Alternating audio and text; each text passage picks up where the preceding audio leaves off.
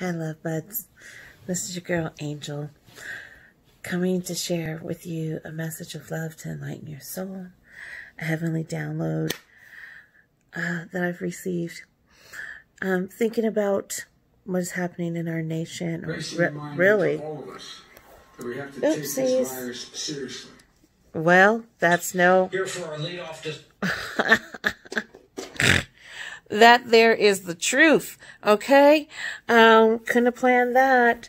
That gives me all the courage to say we have to take this virus seriously.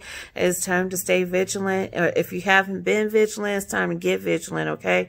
Because coronavirus is here. Next time thing you know, every sniffle and snotting and everything that's going to be going on with the cold and flu season upon us.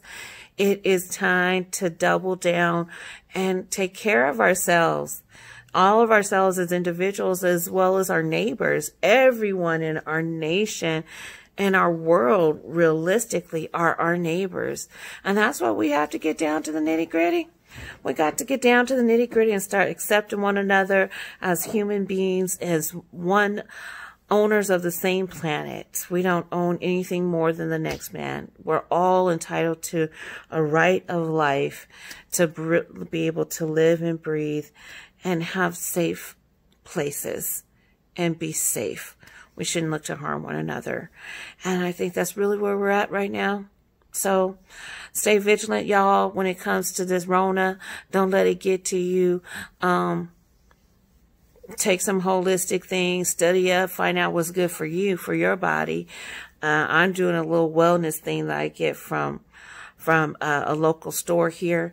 And is helping as well as I'm doing more like with garlic and ginger and lemon and oranges and I drink more water and I started having bad eating habits, but I got to get better. I'm working on that. I changed up my um, toothbrush more often, gargle with peroxide or even some type of crest or something.